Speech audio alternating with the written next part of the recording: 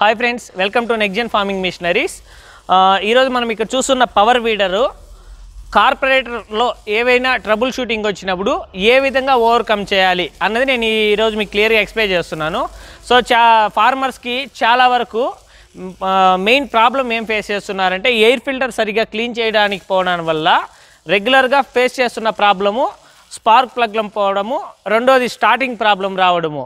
So ఈ air filter మీరు ఎప్పుడైతే క్లియర్ క్లీన్ చేసుకోవడం కానీ మీరు నెగ్లెక్ట్ చేస్తారో. సో అప్పుడు ఈ డస్ట్ కార్పొరేటర్లోకి ఫామ్ అయ్యి పెట్రోల్ ఫ్యూయల్ సప్లై అనేది చాలా వరకు ప్రాబ్లం అవుతుంది సో అలాంటి సిచ్యువేషన్లో ఒక మిషనరీకి కార్పొరేటర్ క్లీన్ చేసుకొని ఏ విధంగా మీరు ఓవర్కమ్ చేసుకోవాలన్నది ఈరోజు నేను ప్రాక్టికల్గా క్లియర్గా మీకు ఎక్స్ప్లెయిన్ చేయబోతున్నాను. సో దీన్నిగానే మీరు ఫాలో అప్ అయ్యారంటే మీరు ఆ బయట ఉన్న టెక్నీషియన్స్ మీద డిపెండ్ కాకుండా మీరే సింప్లిసిటీగా దీన్ని ఓవర్కమ్ చేసుకోవచ్చు. సో ఫ్రెండ్స్ ఫార్మర్సు చాలామంది వరకు పవర్ వీడర్లో స్టార్టింగ్ ప్రాబ్లం అనేసి రెండోది మైలేజ్ వేరియేషను యాక్సలరేటర్లో ఫ్లక్చువేషన్స్ సో ఇలాంటి కంప్లైంట్స్ని చాలామంది రైతులు ఏ విధంగా ఓవర్కమ్ చేయాలనేసి మమ్మల్ని అడుగుతుంటారు. సో ఆ రీజన్ వల్లనే నేను మీకు ఈ యొక్క వీడియో అనేది ఈరోజు తీస్తున్నాను.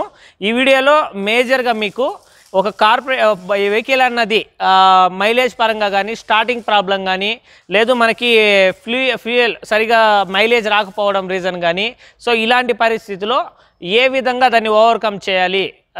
మెయిన్ రిలేటెడ్గా కార్పొరేటర్ని ఏ విధంగా మీరు క్లీన్ చేసుకోవాలి? సో దానిలో ఏ విధమైన అడ్జస్ట్మెంట్స్ ఉంటాయనేది నేను మీకు క్లియర్గా ఎక్స్ప్లెయిన్ చేస్తున్నాను.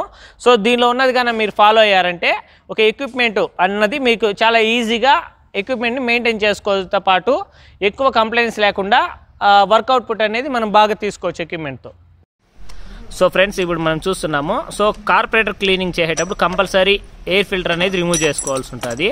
ఎయిర్ ఫిల్టర్ రిమూవ్ చేసిన తర్వాత సో యాగ్ మనకి ఎయిర్ ఫిల్టర్ యొక్క మెయిన్ హబ్ అనేది కూడా తీసేయాలి. సో దాని వెనకాలే మనకి కార్పొరేటర్ ఉండడం వల్ల మనం ఈ రెండు కంపల్సరీ రిమూవ్ చేయాల్సి ఉంటుంది.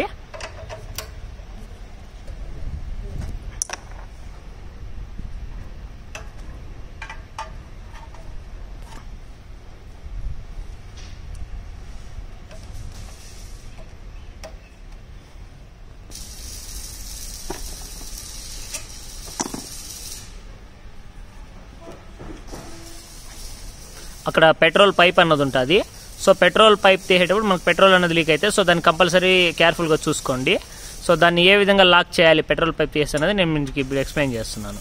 సో ఆ విధంగా తీసేసి మనకు ఆ పైన చౌక్ క్యాప్ అన్నది స్లోగా తీసుకొని సో దాన్నే మనకి ఆపోజిట్లో చెక్కారంటే పెట్రోల్ అనేది రాకుండా ఉంటుంది. జస్ట్ అది ఒక చిన్న టెక్నిక్. దాన్ని ఫాలో అయితే ఈజీగా ఉంటుంది. సో నెక్స్ట్ అలానే ఉండండి. రైట్. సో ఫ్రెండ్స్ ఇక్కడ మనం చూస్తున్నాగా స్మాల్ స్ప్రింగ్. ఇది యాక్సలరేటర్ కంట్రోలింగ్ స్ప్రింగ్ అది. సో ఈ స్ప్రింగ్ అన్నది మెయిన్ మనకి. సో మీరు ఏవైతే తీసారో అదో విధంగా వేసే విధంగా మీరు ప్లాన్ చేసుకోండి చెక్ చేసుకోండి. సో ఒక యాక్సలరేటర్ స్ప్రింగ్ ఒక యాక్సలరేటర్ కంట్రోలర్ స్టీతో పాటు petrol on and off pipe తీసారంటే మన కార్పొరేటర్ అనేది ఫ్రంట్కి వచ్చేస్తుంది. సో ఇప్పుడు ఇది చూస్తున్నది మన కార్పొరేటర్. సో ఈ కార్పొరేటర్ లోపల ఏ విధంగా ఉంటుందో నేను మీకు క్లియర్గా ఇప్పుడు ఎక్స్ప్లెయిన్ చేస్తాను. సో ఫ్రెండ్స్ ఇక్కడ కింద మనకి టెన్ సైజ్ స్పానర్ కనిపిస్తుంది. సో బాటంలో రెండు ఉంటాయి ఒకటి వచ్చి పెట్రోల్ డ్రాపింగ్ నట్టు రెండోది కార్పొరేటర్ బాటంని మనం రిమూవ్ చేయనీకి. సో ఆ పెట్రోల్ బాటమ్ అనేది రిమూవ్ చేయాల్సి ఉంటుంది. సో అది రిమూవ్ చేసిన తర్వాత మనకి కింద చూసామంటే సో ఈ విధంగా క్యాప్ అన్నది వచ్చేస్తుంది. సో దాంతోపాటు మెయిన్ ఈ లోపల ఈ కనిపిస్తున్నది మనకి జెట్ సో ఆ చిన్న స్లైడ్ని తీగానే జెట్ వస్తుంది. అది మీకు క్లియర్గా చూపిస్తాను క్లోజ్ సో ఫ్రెండ్స్ ఒక లీడ్ తీసేసి జెట్ ఈ విధంగా పైకి ఎత్తామంటే మనకి ఆ నాబ్ వస్తుంది. సో అక్కడ చూస్తున్నాం కదా ఒక చిన్న నాబ్ లాంటిది అక్కడ చూస్తాం మనకి. ఏల్లో చూపిస్తారు. ఆ పాయింట్ అలానే ఈ వైట్ కలర్లో ఉన్న చిన్న నాబ్ అన్నది మెయిన్. సో ఈ రెండిట్లో డస్ట్ పావడం ఫామ్ అవడం వల్ల పెట్రోల్ సర్క్యులేషన్ చాలా వరకు స్లో అవుతుంది. సో దీన్ని ప్రైమరీగా క్లియర్ చేసుకోవాలి. సో నెక్స్ట్ మనం ఇక్కడ చూస్తున్నది పెట్రోల్ ప్రైమరీ సర్క్యులేషన్ నాబ్ అది. సో దీనిలో మెయిన్గా వచ్చే డస్ట్ అన్నది ఇక్కడ క్లియర్ అవుతుంటది లోపల చూసామంటే మనకి కనిపిస్తుంది క్లియర్గా చూడండి. సో దీనిలో డస్ట్ అనేది చాలా వరకు ఫామ్ అవుతుంది దీన్ని క్లియర్ చేసుకోవాలి? రెండో పాయింట్. సో మూడోది వచ్చి సో మిడిల్ ఆఫ్ ద పాయింట్లో మనకి పెట్రోల్ జెట్స్ అనేది ఉంటుంది. సో మెయిన్ ప్రైమరీ కార్పొరేటర్లో మనకి ఏమైనా కంప్లైంట్ అంటే సో ఆ హోల్లో ఉన్న దీంతోనే. సో మనకి స్క్రూ డ్రైవర్ సహాయంతో ఆ లోపల ఉన్నటువంటి రెండు నాబ్స్ని మనం రిమూవ్ చేసుకోవచ్చు. దాన్ని సో ఈ విధంగా తీసి మన లోపల వేసామంటే ఇలాంటి రెండు పార్ట్స్ ఉంటాయి. సో ఈ ప్రైమరీది సో ఆ పొజిషన్లో ఉంటుంది. సెకండరీది దానిపైన అన్నది సో అది ఉంటుంది. సో ఇందులో మీరు క్లియర్గా చూడాల్సింది ఈ హోల్స్ సో మనకి ఇందులో బాగా క్లియర్గా అబ్జర్వ్ చేసామంటే మనకి ఎక్కువ కనపడడం లేదు. ఇక్కడ చిన్న చిన్న హోల్స్ ఉంటాయి. ఈ హోల్స్ ఈ మెయిన్ హోల్ అన్నది క్లియర్ చేసుకోవాలి బాగా. ఎటువంటి డస్ట్ లేకుండా దీన్ని క్లీన్ చేసుకోవాల్సి ఉంటుంది. సో అలానే ఇలాంటి చిన్న చిన్న వైర్స్ సహాయంతో వాటిని అనేది మనం ఈ విధంగా క్లీన్ చేసుకోవచ్చు. సో ఈ విధంగా క్లీన్ చేసుకోవచ్చు హోల్స్లో రెండోది ఇంకొక పార్ట్లో కూడా మీకు ఏదైతే సెకండరీ జెట్ ఉంటుందో సో మీకు చూపిస్తాను చిన్న జెట్ కూడా. సో ఈ చిన్న నాబ్లో కూడా ఈ హోల్ అన్నది క్లియర్ చేసుకోవాల్సి ఉంటుంది. సో నెక్స్ట్ ఈ రెండు అన్నది ప్రైమరీ సో సెకండరీ మెయిన్ ఇది ఎయిర్ సర్క్యులేషన్ నాబ్ అంటాం. సో ఈ పార్ట్లో మనకి మెయిన్గా దాన్ని చిన్న స్క్రూ టైప్ ఇచ్చింటాడు. స్క్రూని రిమూవ్ చేసినట్లయితే దాని కింద అడ్జస్ట్మెంట్ నాబ్ అనేది ఒకటి ఇచ్చింటాడు. సో అందులో దాన్ని లైట్గా మనకు స్క్రూ డ్రైవర్ యొక్క టాప్తో దాన్ని లేపామంటే పైకి వస్తుంది. సో ఈ పార్ట్లో మేజర్గా మీరు ఏదైతే ఇందాక మనము జెట్స్ క్లియర్ చేసామో సో అదే విధంగా చిన్న హోల్ ఒకటి ఉంటుంది. సైడ్ ఒక హోల్ అనేది ఉంటుంది. సో ఈ రెండు హోల్స్ని మనం క్లియర్ చేసుకోవాలా? ఫార్మర్స్ చాలా చాలామంది అడుగుతుంటారు యాక్సలరేటింగ్ పొజిషన్లో అప్ అండ్ డిప్స్ వస్తుంటుంది అనేసి. సో మెయిన్ రీజను దీనిలో స్టక్ అవ్వడం వల్ల మనకు వస్తుంది. సో అలానే ఫార్మర్స్ సెకండరీగా మెయిన్ చూసుకోవాల్సింది సో ఇక్కడ ముందర కనిపిస్తున్నాయి కదా టూ హోల్స్ ఇందులోను అలానే బ్యాక్ సైడ్ కనిపిస్తున్న సో ఈ పార్ట్లోను ఫ్రంట్ అప్పర్ టాప్ పొజిషన్లో ఉంటుంది. మూడోది బాటమ్ పొజిషన్లో ఈ రెండు హోల్స్లోను ఈ హోల్స్లోను సో ఎయిర్ అన్నది హైయర్ కంప్రెజర్లో వచ్చే ఎయిర్ ద్వారా కానీ మీరు క్లియర్గా ఎలాంటి డస్ట్ లేని ఎయిర్ కానీ పట్టినట్టయితే సో ఓవరాల్గా ఈ కార్పొరేటర్ అన్నది క్లీన్ అయిపోతుంది. పెట్రోల్తో క్లీన్ చేసిన తర్వాత మనకి ఈ యొక్క టోటల్ సెట్ అన్నది క్లీన్ అయిపోతుంది. సో ఈ విధంగా ఎక్విప్మెంట్ అనేది తీసి మనం చేసుకోవాల్సి ఉంటుంది. సో ఇప్పుడు ఏ విధంగా మనం క్లీన్ చేసుకోవాలని చూపిస్తాను. సో ఈ విధంగా అంతా రిమూవ్ చేసుకున్న తర్వాత ఈ విధంగా డీజిల్ లేదు పెట్రోల్ సహాయంతో అవుటర్ క్లీన్ చేసుకొని హోల్స్ ద్వారా సో మనం ఏదైతే ఇందాక నేను ఎయిర్ పట్టాలని చెప్పానో ఆ హోల్లోకి మెయిన్ దీన్ని ఇంజెక్ట్ చేయాల్సి ఉంటుంది. సో సో ఈ విధంగా బ్రష్ సహాయంతో క్లీన్ చేసుకోవాలి బాటంలో సైడ్లో ఆ హోల్స్ మొత్తం. సో ఆ మెయిన్ ఈ పార్ట్స్ అంతా కూడా క్లియర్గా క్లీన్ చేసుకున్న తర్వాత లాస్ట్లో ఫైనల్లో పెట్రోల్తో మళ్ళీ సర్క్యులేషన్ చేసుకోవాలి. సో ఇవి చూడండి సార్ పెట్రోల్తో చేస్తారు సర్క్యులేషను. సో ఈ విధంగా ఆ హోల్స్లో అన్నది పెట్రోల్ కానీ డ్రా చేసుకుంటే మనకి ఆ మెయిన్ ఆఫ్ ది పార్ట్స్ అనేది క్లియర్గా క్లీన్ అయిపోతుంది. సో నెక్స్ట్ ఏ విధంగా అసెంబుల్ చేయాలో నేను మీకు ఇప్పుడు చూపిస్తాను. సో ఫ్రెండ్స్ ఇప్పుడు ఏ విధంగా అసెంబుల్ చేయాలో నేను చూపిస్తాను. సో ఫస్ట్ ఆఫ్ ఆల్ మనకి ఈ పైన ఎయిర్ కంప్రెసర్స్ని సెట్ చేయాలి. సో దాన్ని ప్రెస్ చే- ప్రెస్ చేసి దానిపైన లాక్ నట్ అనేది స్క్రూ డ్రైవర్ సహాయంతో టైట్ చేయాల్సి ఉంటుంది. సో ఇది మీకు ఆ ఫుల్ థ్రెడ్లో హాఫ్ ఆఫ్ ది థ్రెడ్ అనేసి మీకు టైట్ చేసేయచ్చు. సో దాన్ని టైట్ చేసిన తర్వాత ఇంకా బ్యాక్ సైడ్. సో మనకి ఏదైతే లోపల ఫ్యూయల్ ఇంజెక్షన్ జెట్స్ ఉంటాయో సో ఆ జెట్ అనేది మెయిన్ మీరు ఏ విధంగా వేస్తున్నారు అనేది మెయిన్ పాయింట్ ఇందులో. సో ఆ ఇంజెక్షన్ జెట్ ఆ విధంగా వేసి దానిపైన లాక్ జెట్ అనేది ఆ థ్రెడ్డింగ్ సహాయంతో మనం టైట్ చేస్తాం. దీన్ని యాస్టి స్క్రూ డ్రైవర్ సహాయంతో మనం టైట్ చేయొచ్చు.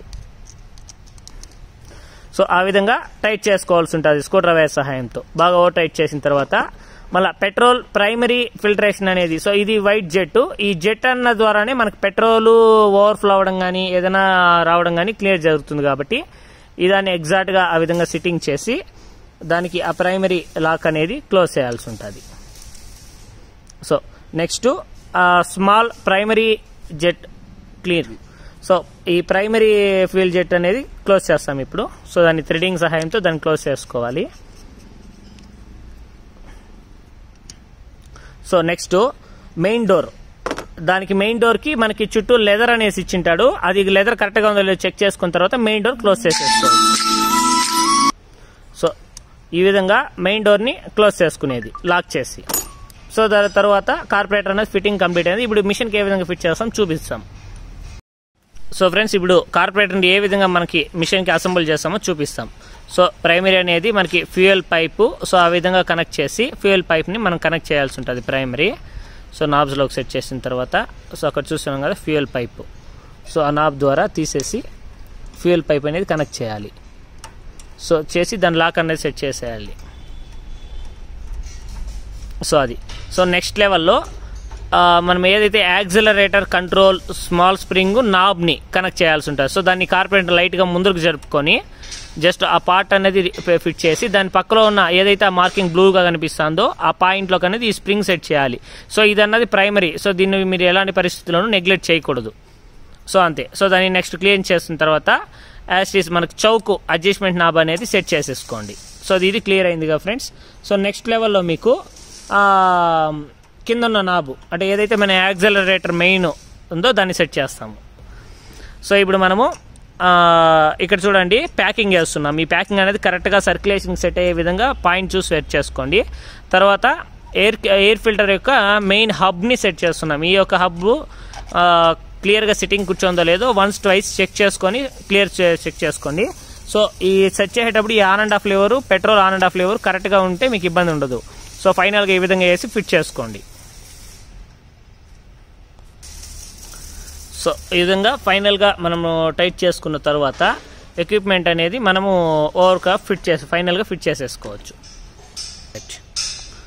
సో వన్స్ ఈ విధంగా క్లీన్ చేసేటప్పుడు ఎయిర్ ఫిల్టర్ క్లీన్గా ఉందో కూడా ఒక్కసారిగా చెక్ చేసేసుకోండి.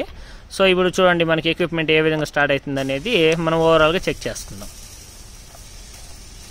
సో ఫ్రెండ్స్ ఇప్పుడు మనం ఇందాక కార్పొరేటర్ సెట్ చేసిన మిషన్ స్టార్టింగ్ని ఇప్పుడు చెక్ చేస్తాం.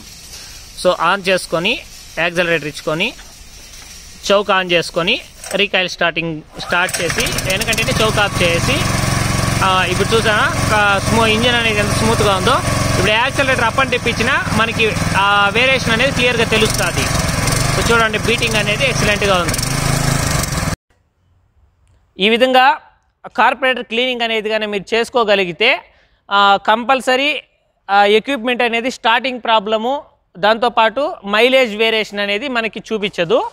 మెయిన్ ఈ కార్పొరేటర్ క్లీనింగ్ అనే ప్రోగ compulsory every hundred hours hundred working అవర్స్కి ఒకసారి అయినా మనము రెగ్యులర్గా చేస్తూ ఉండడం వల్ల ఎక్విప్మెంట్ అనేది లైఫ్ వ్యాలిడిటీ చాలా బాగా వస్తుంది.